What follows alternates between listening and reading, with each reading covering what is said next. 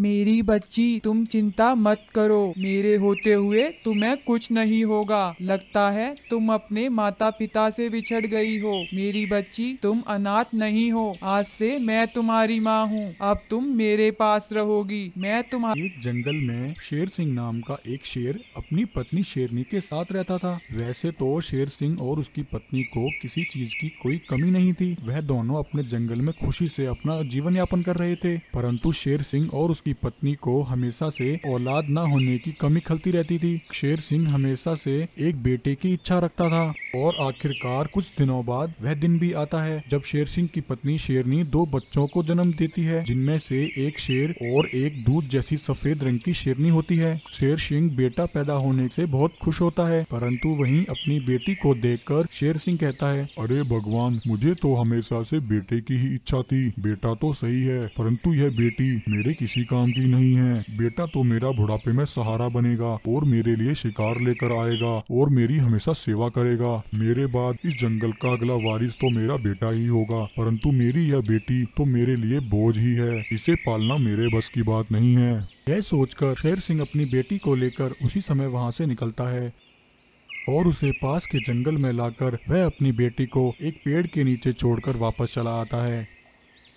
उधर उस जंगल में एक शैतानी शक्तियों वाला कालिया शेर घूम रहा होता है। तभी घूमते हुए जंगल में कुछ अजीब लगता है। अरे यह क्या? मुझे यहाँ आसपास किसी शेरनी की गंध आ रही है। यह कहकर कालिया शेर थोड़ा आगे आता है। तभी उसे वहाँ एक नवजात सफ़ेद शेरनी दिखाई देती है जिसे शेर सिंह वहाँ छोड़ गया था। उस नवजात सफ़ेद शेरनी को देखकर शैतान कालिया शेर के मुँह में पानी आ जाता है। कालिया शेर कहता है अच्छा तो यह गंध यहाँ से आ रही थी। वाह आज का दिन तो बहुत अच्छा है। सुबह सुबह ही इतना अच्छा शिकार मिल गया। लगता है यह शेर की बच्ची अपने माता पिता से बिछड़ गई है। देखने में यह शेरनी बहुत नरम और मुलायम लग रही है। आज इसे खाकर मैं पूरे दिन आराम करूँगा। यह कहकर कालिया शेर उस नवजात शेरनी को मारने के लिए उसकी तरफ़ आता है कि तभी इतने में वहाँ एक जादुई गोल्डन शेरनी आ जाती है और अपनी एक शक्ति कालिया शेर पर मारकर उसे वहीं रोक देती है। अरे दुष्ट कालिया शेर वहीं रुक जा। खबरदार जो तूने इस बच्ची को हाथ लगाया चला जा यहाँ से। कालिया शेर कहता है, गोल्डन शेरनी, तुम मेरे शिकार के बीच में मत आओ। यह नवजात सफ़ेद शेरनी मेरा शिकार है। मेरी नज़र इस पर पहले पड़ी है। मैं इसे खाकर अपनी भूख शांत करूँगा कालिया शेर की यह बात सुनकर गोल्डन शेरनी फिर से अपनी शक्तियों से कालिया शेर पर हमला करती है और कालिया शेर को वहाँ से भगा देती है। मेरी बच्ची, तुम चिंता मत करो। मेरे होते हुए तुम्हें कुछ नहीं होगा। लगता है तुम अपने माता पिता से बिछड़ गई हो। मेरी बच्ची, तुम अनाथ नहीं हो। आज से मैं तुम्हारी माँ हूँ। अब तुम मेरे पास रहोगी। मैं तुम्हारा पालन पोषण करूँगी। यह कहकर गोल्डन शेरनी उस सफ़ेद शेरनी बच्ची को अपने साथ लेकर अपनी गुफा में आ जाती है। गोल्डन शेरनी उस नवजात सफ़ेद शेरनी का अच्छे से पालन पोषण करती है। समय बीतता है और वह सफ़ेद शेरनी बड़ी हो जाती है। क्योंकि गोल्डन शेरनी एक जादुई शेरनी थी तो वह अपनी कुछ जादुई शक्तियाँ अपनी बेटी सफ़ेद शेरनी को दे देती है। उधर शेर सिंह का बेटा, जिसका नाम बंटी था, वह भी बड़ा हो जाता है। शेर सिंह का बेटा बंटी शेर बहुत ही आलसी और नकारा था। वह दिन भर जंगल में घूमता रहता था। बंटी शेर इतना आलसी था कि उससे शिकार तक नहीं होता था। बंटी के इस नकारापन से शेर सिंह बहुत परेशान था। एक दिन शेर सिंह अपनी पत्नी शेरनी से कहता है अरे शेरनी मैं इस बंटी का क्या करूँ? यह तो मेरी कोई बात नहीं मानता। मुझे लगता था कि मेरा यह बेटा बुढ़ापे में हमारी सेवा करेगा परंतु यह तो खुद हमारे टुकड़ों पर पलता है। शेरनी यह मेरे इस जंगल को कैसे संभालेगा? ऐसे ही एक दिन शेर सिंह अपने बेटे बंटी को अपने पास बुलाकर कहता है देखो बंटी मुझे तुम्हारी यह सब आदतें बिल्कुल पसंद नहीं है। मैं तुम्हें इस जंगल का राजा बनाना चाहता हूँ, परंतु तुम तो इतने आलसी हो कि तुमसे एक शिकार तक नहीं होता। तुम इस जंगल को कैसे संभालोगे? बंटी, इसी समय जाओ और जंगल में जाकर शिकार करो। अगर आज तुम शिकार लेकर नहीं आए तो मैं तुम्हें जंगल का राजा कभी नहीं बनाऊँगा। शेर सिंह की यह बात सुनकर बंटी वहाँ ऐसी चला जाता है। शिकार ढूंढते ढूंढते बंटी शेर पास के जंगल में आ जाता है। तभी उसके सामने वह कालिया शेर आ जाता है। कालिया शेर को देखकर बंटी शेर घबरा जाता है और वहीं रुक जाता है। आओ बच्चे आओ। क्या ढूंढ रहे हो? बंटी बोलता है नहीं नहीं शेर महाराज मैं कुछ नहीं ढूंढ रहा। मैं तो यहाँ गलती से आपके इस जंगल में चला आया। अच्छा अब तुम आ ही गए हो तो वापस जाने का तो सवाल ही नहीं उठता। बहुत दिनों से भूखा हूँ। आज तुम्हारा मांस खाकर अपनी भूख शांत करूँगा। यह कहकर शैतान कालिया शेर बंटी को अपनी शक्तियों से वहीं कैद कर लेता है। वहीं शेर सिंह का जासूस भालू कालिया शेर को यह सब करते देख लेता है। भालू भागा भागा उसी समय शेर सिंह के पास आता है और उसे सारी बात बता देता है। अरे भालू, ये तुम क्या कह रहे हो? कालिया शेर ने मेरे बेटे को कैद कर लिया है। शेरनी, जल्दी चलो, वरना वह शैतान कालिया शेर हमारे बेटे को मार देगा। शेर सिंह अपनी पत्नी शेरनी को लेकर अपने बेटे को बचाने के लिए उस जंगल में आ जाते हैं। कालिया शेर शेर सिंह और उसकी पत्नी शेरनी को भी बंटी के साथ ही कैद कर देता है। अरे वाह एक साथ इतना शिकार अब मैं तुम सबको एक एक करके मज़े से खाऊँगा वहीं वह सफ़ेद शेरनी उसी जंगल में घूम रही होती है। तभी उसे किसी के चिल्लाने की आवाज़ आती है। सफ़ेद शेरनी थोड़ा आगे आकर देखती है। वह देखती है कि एक पिंजरे में दो शेर और एक शेरनी कैद हैं और मदद के लिए चिल्ला रहे हैं। सफ़ेद शेरनी उनके पास आती है और उन सबको पिंजरे से आज़ाद कर देती है। तभी इतने में वह कालिया शेर भी आ जाता है। उन सबको पिंजरे से बाहर देखकर कालिया शेर को बहुत गुस्सा आता है।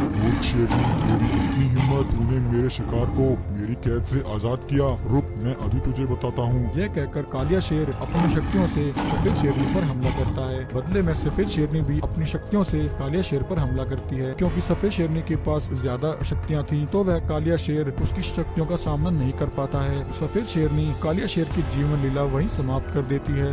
अभी इतने में वहाँ वह जादुई गोल्डन शेरनी भी आ जाती है। शेर सिंह और उसकी पत्नी सफ़ेद शेरनी का धन्यवाद करते हैं। तभी गोल्डन शेरनी अपनी शक्तियों से देख लेती है कि वह सफ़ेद शेरनी जो उसे जंगल में मिली थी, वह इसी शेर और शेरनी की बेटी है। तब गोल्डन शेरनी शेर सिंह और उसकी पत्नी को सारी बात बताती है। गोल्डन शेरनी की बात सुनकर शेर सिंह को अपने किए पर बहुत पछतावा होता है। वह अपनी पत्नी और बेटी से माफ़ी माँगता है। शेरनी और मेरी बच्ची, तुम दोनों मुझे माफ़ कर दो। शेरनी, मैंने तुमसे झूठ कहा था। कि हमें सिर्फ़ एक बेटा हुआ है। अपनी इस बहादुर बेटी को बोझ समझकर मैं इसे उस दिन जंगल में छोड़ आया था। परंतु आज मेरी इस बेटी ने हम सबकी जान बचाकर ये साबित कर दिया है कि जो काम बेटा नहीं कर सकता, वह बेटी कर सकती है। शेर सिंह अपनी बेटी सफ़ेद शेरनी को वापस लेकर जंगल में आ जाता है। वहाँ आकर वह अपनी बेटी सफ़ेद शेरनी को जंगल की रानी बना देता है। उस दिन के बाद से सब खुशी खुशी जंगल में रहने लगते हैं। वापस जीवित होकर गब्बर शेर बहुत खुश होता है और गोल्डन शेर का धन्यवाद करता है। तभी शेर खान अपनी गुफा में बैठा आराम कर रहा होता है। शेर खान बोलता है क्या हुआ सिम्बा? आज मेरे घर का रास्ता कैसे भूल गए? जंगल में गब्बर और सिम्बा नाम के दो शेर भाई रहते थे। गब्बर और सिम्बा दोनों भाई बहुत ही ताकतवर थे। दोनों हर रोज जंगल में एक साथ शिकार करने के लिए निकलते थे और दोनों मिलकर जंगल के सभी जानवरों की रक्षा किया करते थे। एक दिन जंगल का राजा कौन होगा इस बात का फैसला करने के लिए जंगल के सभी जानवरों की सभा बैठती है। तभी भालू कहता है देखो गब्बर और सिम्बा तुम दोनों भाई हमारे लिए एक समान हो परंतु जैसा कि जंगल का नियम है जंगल का राजा तो कोई एक ही होता है। जंगल के कानून के हिसाब से बड़ा भाई ही जंगल का राजा होता है। तो इस हिसाब से गब्बर तुम बड़े हो मैं अपना मत तुम्हें देता हूँ और तुम्हें अपना राजा मानता हूँ। भालू की बात सुनकर सभी जानवर गब्बर और शेर को अपना मत देते हैं। केवल एक दो जानवर ही सिम्बा की तरफ़ होते हैं। क्योंकि गब्बर शेर की मत में बोलने वाले अधिक जानवर थे तो गब्बर शेर चुनाव जीत जाता है और जंगल का राजा बन जाता है। परंतु वहीं सिम्बा को यह बात खटक जाती है। उसे सभा में हुई अपनी बेइज्जती स्वीकार नहीं होती। वह गुस्से से वहाँ से चला जाता है।